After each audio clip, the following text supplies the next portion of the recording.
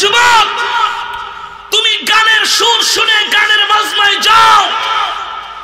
গানের সুর শুনে তুমি যদি গানের মাজমায় যাও, যেই নর্তকী, গায়িকা, নায়িকার গান তুমি শুনতেছ, হাসরের ময়দানে তার সাথে তোমার হাসর নাচর হবে।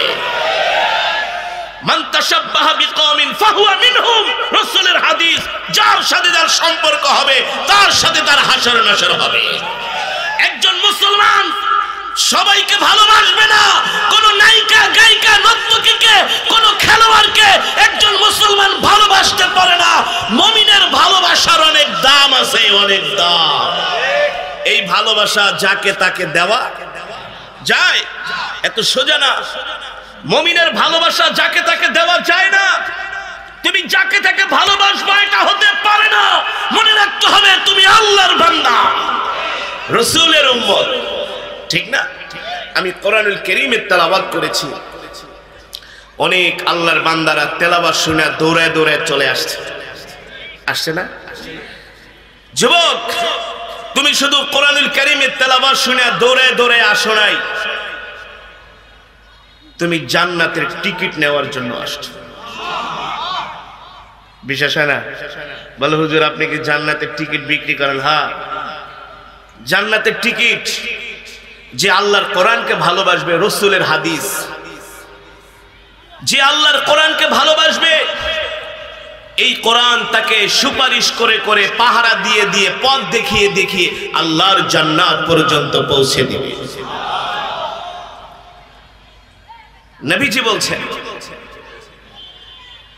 আল্লাহ নবী বলেন, এই জমিনের মধ্যে আল্লাহর কিছু পরিবারভুক্ত বান্দা আছে। কার পরিবারভুক্ত? যদি কেউ এমপি মন্ত্রীর পরিবারের লোক হয়, তার প্রায়োরিটি বেশি নাকি কম? তার ক্ষমতা বেশি নাকি কম? রাস্তায় গাড়ি নিয়ে বাইরে এলে সার জেনে দেখলে এটা সারের গাড়ি? যাও কিচ্ছু লাগবো না, কাগজপত্র। ঠিক না? উল্টা ঢুকাইলে কোনো সমস্যা নাই। কি বলেন? আর আপনি আমি সাধারণ পাবলিক রাইট সাইডে ঢুকাইলো দাঁড়া করায় রাখবে। তার মানে এমপি মন্ত্রী ক্ষমতাবানদের লোকদের সাথে সম্পর্ক থাকলে তাদের পরিবারের লোক হলে অনেক ফ্যাসিলিটি পাওয়া যায়। রব বলতেছেন, নবী বলতেছেন, এই দুনিয়ার জমিনে আল্লাহর কিছু পরিবার ভক্ত বান্দা আছে। সাহাবে কেরাম জিজ্ঞেস করলেন, ওগো আল্লাহর নবী, কাদের এত কপাল ভালো, কাদের এত খুশ নসিব যারা কিনা আল্লাহর পরিবার ভক্ত বান্দা? নবীজি বলছেন, ইন্না লিল্লাহি আহলিনা মিনান নাস। সাহাবায়ে কেরাম জিজ্ঞেস করলেন, কিলা মান হুম ইয়া রাসূলুল্লাহ? আপনি বলছেন, এই জমিনে আল্লাহর কিছু পরিবার ভক্ত বান্দা আছে। কারা তারা? তাদের পরিচয় আমাদের কাছে দেন। কাদের এত কপাল ভালো? আল্লাহর নবী বললেন, আহলুল কুরআন হুম আহলুল্লাহ। আহলুল কোরআন হুম আহলুল্লাহ। এই জমিনে যারা আল্লাহর কোরআনকে ভালোবাসে, ভালোবাসবে, তারা হলো আল্লাহর পরিবার ভক্ত বান্দা। যুবক, মুসলমান, আপনারা মাগরিবের পরে কোরআনের মজমায় আইসা অনেক জিতেছেন অনেক জিতেছেন, ঠিক কিনা বলেন? দীর্ঘক্ষণ সময় রবের কালাম পড়েছি, আপনারা শুনেছেন। আমি যদি দশ হাজার শব্দ তেলাওয়াত করে থাকি, দশ হাজারকে দশ দিয়া গুণ দেন, নগদে এক লক্ষ নেকি পেয়েছেন। এই কোরআনের মজমায় আসার কারণে এক খতম করে করে কোরআনুল করিমের সওয়াব পেয়েছেন। আগেই বলেছি, আপনাদের মর্যাদা রাত দশটার পরে যারা আসবে, তাদের মর্যাদা কোনোদিনই এক না। কারণ আপনাদের এই এলাকায় বাদামতলি, সোয়ারিঘাটে দেখবেন অনেক ব্যবসায়ী আছে আছে না? সকালবেলা দেখবেন দোকান খুলে ফজরের পরে, নাকি? দোকানটা খুইলা দোকানের সামনে একটু ঝাড়ু দেয়, না? পানি ছিটায় ঝাড়ু দেয়। দোকানের ক্যাশ বাক্সে পানি ছিটায়, তারপরে মুছে আতর গোলাপ মাখে, নাকি? দুইটা আগরবাতি ধরায়। ধরায় ক্যাশ বাক্সটারে চুমা দেয়, সালাম করে কথা বলেন। কথা বলেন। তখন ক্যাশ বাক্সের সামনে বৈশা বৈশা মনে মনে কি ভাবে? কীভাবে কীভাবে কাস্টমার কাস্টমার।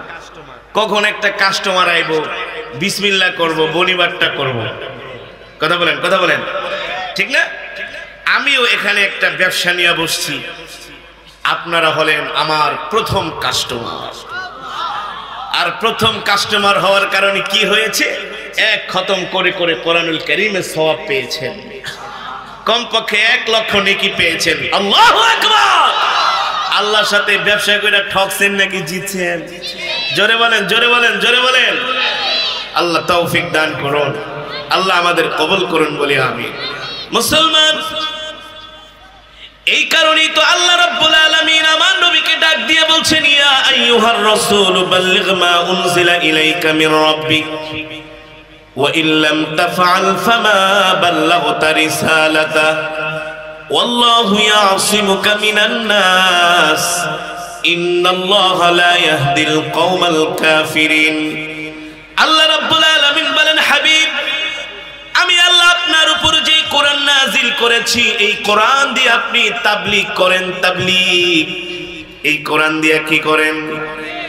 এই কোরআন দিয়ে আপনি তাবলিগ করেন। কিছু মানুষ আছে বাংলাদেশে যাদের তাবলিগের কথা শুনলে গায়ের মধ্যে আগুন জ্বলে। আছে কি, আছে না? কিছু মানুষ আছে তাবলিগ জামাতকে দেখতে পারে না। আরে বেটা, তুই তাবলিগ জামাত দেখতে পারোস না, তুই কেমন বুজুর্গ হয়ে গেছস? ঠিক কিনা বলে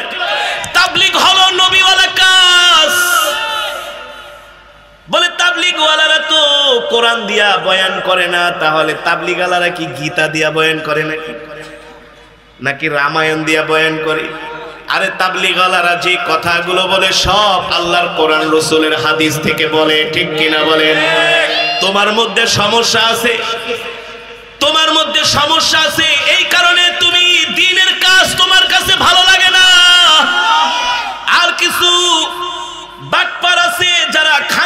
মধ্যে বৈশা শুধু ব্যবসা করে এসি রুমের মধ্যে বৈশা বৈশা ব্যবসা করে, ঠিক কিনা বলেন? কিন্তু তাবলিগালারা ব্যবসা করে না গাঠটি একটা মাথায় নিয়া, রাতের পর রাত, দিনের পর দিন, ধান ক্ষেতের আইল দিয়া, পাট ক্ষেতের আইল দিয়া, পাহাড় বেয়ে বেয়ে, জমিনে হেঁটে হেঁটে তারা দিনের দাওয়াত দিচ্ছেন, ঠিক কিনা বলেন? এই কোরআনের দাওয়াত, দিনের দাওয়াত, আল্লাহ রাব্বুল আলামিন বললেন, ইয়া আইয়ুহার রাসূল, বাল্লিগ মা উনজিলা ইলাইকা মির রাব্বিক। নবী আপনাকে যে কোরআন দেওয়া হয়েছে, এই কোরআন দিয়ে আপনি তাবলীগ করেন। এই কোরআনের দাওয়াত আপনি মক্কার ধারে ধারে, ঘরে ঘরে পৌঁছে দেন, ঠিক কিনা বলেন? কালেমার দাওয়াত তৌহিদের দাওয়াত রিসালাতের দাওয়াত আপনি পৌঁছে দেন। আল্লাহ তাআলার নির্দেশ পায়া আমার নবী ঘরের মধ্যে বসে রয় নাই। আবার আল্লাহ তাআলা এই কথাও বলছে, নবী, আপনাকে যে কোরআন দিয়েছি, এই কোরআন দিয়ে আপনি মক্কার কাফেরদেরকে দাওয়াত দেন। মক্কার মানুষদেরকে দাওয়াত দেন, সারা পৃথিবীর মানুষের কাছে আপনি কোরআন পৌঁছে দেন। যদি আপনি এই দায়িত্ব পালন না করেন, তাহলে কিন্তু আপনার দায়িত্ব পালন হলো না। ঠিক কেনা বলেন? আমার রবের নির্দেশ পেয়ে আল্লাহ নবী ঘরে বসে থাকেন নাই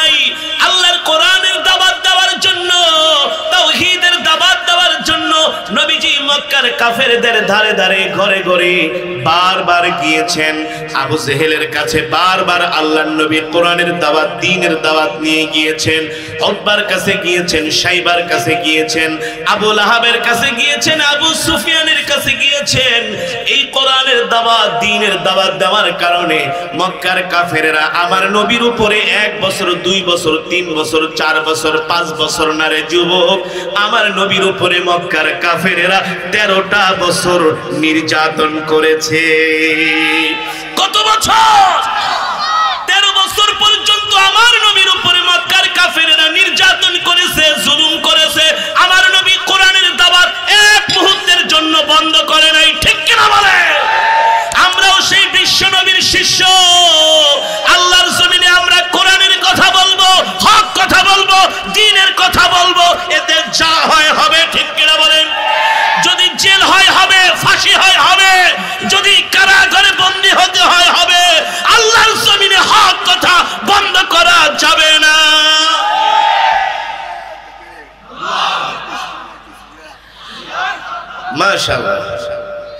জমিনে হক কথা বন্ধ করা যাবে?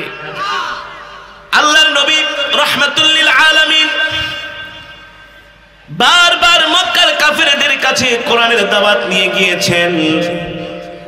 আবু জেহেল আল্লাহর নবীর এত বিরোধিতা করে, আবু লাহাব এত বিরোধিতা করে। নবীকে কোরআনের দাওয়াত দিতে দেয় না, কোরআনের কথা বলতে দেয় না। কিন্তু রাত্রবেলা যখন আমার কলিজার টুকরা নবী বাইতুল্লাহ তাহাজ্জুদের মধ্যে কোরআনের তেলাওয়াত করে, আবার আবু জেহেলরাই সেই তেলাওয়াত শোনার জন্য চলে যায়। আবু জেহেলরা সেই কোরআন তেলাওয়াত শোনার জন্য চলে যায়। কিন্তু তারা কোরআনের কথাগুলো মানতে চায় না, কোরআনের তেলাওয়াত শুনতে চায়। ঠিক না? এই জমিনে বর্তমানেও এমন কিছু আবু জেহেল মার্কা মুসলমান আছে? অনেকে আমাকে দেখলে বলে, হুজুর, আপনার তেলাওয়াত খুব ভালো লাগে। হুজুর, দেখেন, মোবাইলের ভিতরে সারাদিন কোরআন তেলাওয়াত শুনি। হুজুর, ঘুমাইতে গেলেও শুনি, ঘুম থেকে উঠাও শুনি। কিন্তু হুজুর, আপনার ওয়াজ আমার কাছে ভালো লাগে না। আপনাকে সাজেস্ট করি, আপনি শুধু কেরাত করেন বয়ান করেন না। কেন? কয়ে বয়ান করলে গরম গরম কথা বলেন। কি? গরম কথা বলেন এগুলো সহ্য হয় না। সহ্য হবে কীভাবে? এগুলো তো আবু জেহেলের স্বভাব। ঠিক না? আবু জেহেল কিন্তু নবীর কোরআন তেলাওয়াত শুনতো কিন্তু নবীর কোরআনের কথাগুলো মানতে চাইতো না। জানে কোরআনের কথা মানলে তাদের ব্যবসা বাণিজ্য বসকা টসকা সব বন্ধ হয়ে যাবে। ধান্দাপাতি বন্ধ হয়ে যাবে ঠিক কিনা বলেন? এ কারণে আবুল আহাবরা আবু জেহেলরা নবীর কোরআনের কথা মানতে চাইতো না। কিন্তু নবীর কোরআন তেলাবাস শোনার জন্য রাত তিনটা বাজে, আরামের ঘুম হারাম করে আবু জেহেল বাইতুল্লাহ চলে যেত নবীর কোরআন তেলাবাস শুনতে। আল্লাহু আকবার।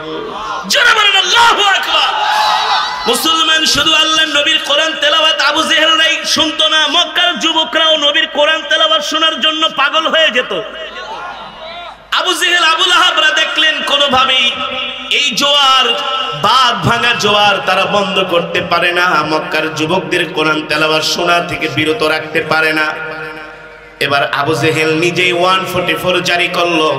আজকে থেকে কেউ যদি মোহাম্মদের কোরআন তেলাবার শুনতে যায়, তার উপযুক্ত শাস্তি হবে, বিচার হবে। আজকে রাত্রে যাতে, আজকে রাত্রের পরে যাতে আর কে মোহাম্মদের তেলাবার শুনতে না যায় এই আইন করে মিস্টার আবু জেহেল এই রাত্রবেলা ঘুমায় আছে যখন তিনটা বাজে, আবু জেহেল ঘুম থেকে আস্তে আস্তে করে উঠে তিনি তৈরি হচ্ছেন, রেডি হচ্ছেন, নবীর কোরআন তেলাওয়াত শুনতে আসবে। আমরা আজানের জবাব দিন শুধু আল্লাহর নবী রহমাতুল্লিল আলামিনের জবানের কালামের তেলাওয়াত শোনার জন্য মক্কার যুবকেরা রাত গভীরে এসে বাইতুল্লাহ ভিড় জমাতো। ওই মক্কার যুবকদের মধ্য থেকে একজন যুবক, তার নাম হলো মুসা বিবনে ওমায়ের নাম কি? এই সাহাবীর জীবনীটা ভালো করে শুনেন। আল্লাহর নবীর সাহাবীরা আল্লাহর দিনের জন্য, কোরআনের জন্য আল্লাহর জমিনে তাদের জান দিয়েছেন। ঠিক কিনা বলেন? আল্লাহর জমিনে কোরআনের রাজ কায়েম করার জন্য, আল্লাহর জমিনে কোরআনের বিধান কায়েম করার জন্য, আল্লাহর পয়গম্বরের সাহাবীরা তাদের সন্তানদেরকে এতিম করেছেন, স্ত্রীকে বিধবা করেছেন, এমনকি আল্লাহর জমিনে আল্লাহর কোরআনের রাজ কায়েম করার জন্য আল্লাহর সাহাবীরা শেষ পর্যন্ত নিজের দেশ ত্যাগ করেছেন। হিজরত করেছেন, হিজরত দেশ ছেড়ে চলে গেছে। সন্তানকে এতিম করেছে, স্ত্রীকে বিধবা করেছে, আল্লাহর দিনের জন্য তাদের কাছে আল্লাহর দিন বড় ছিল, আল্লাহ আল্লাহ রসুল বড় ছিল, ঠিক কিনা বলে তাদের কাছে দুনিয়া বড় না, তাদের কাছে দল বড় না, তাদের কাছে নেতা বড় না, তাদের কাছে দিন বড়, ধর্ম বড়, ইসলাম বড়, আল্লাহর নবীকে গালি দিলে সাহাবিরা ন্যূনতম সহ্য করতেন না, ঠিক কিনা বলে সাহাবিদের রক্তে আগুন ধরে যেত আল্লাহর নবীকে গালি দিলে। ইসলামকে অবমাননা করবে মুসা ইবনে উমাইর এখনও কাফের। মুসা ইবনে উমাইর মক্কার সম্ভ্রান্ত পরিবারের একজন সন্তান। আল্লাহর নবী বাইতুল্লাহ কোরআন পড়ে মুসা ইবনে উমাইর দূর থেকে দাঁড়িয়ে দাঁড়িয়ে নবীজির তেলাওয়াত শুনে, সুবহানাল্লাহ। কিন্তু কাফের কি? মুসলমান না কাফের, কথাটা ভালো করে খেয়াল করেন। একজন মূর্তি পূজক মুসা কালেমা পরে মুসলমান হয় নাই, মূর্তি পূজা করে একজন কাফের, কিন্তু নবীর কোরআন তেলাবাস শোনার জন্য চলে আসে। আল্লাহ জোরে বলেন, আল্লাহ আকবার। গত বছর আমি সুনামগঞ্জের বাদাঘাটে, তাহেরপুর থানা, বাদাঘাট বাজার, একেবারে বাংলাদেশের শেষ সীমান্ত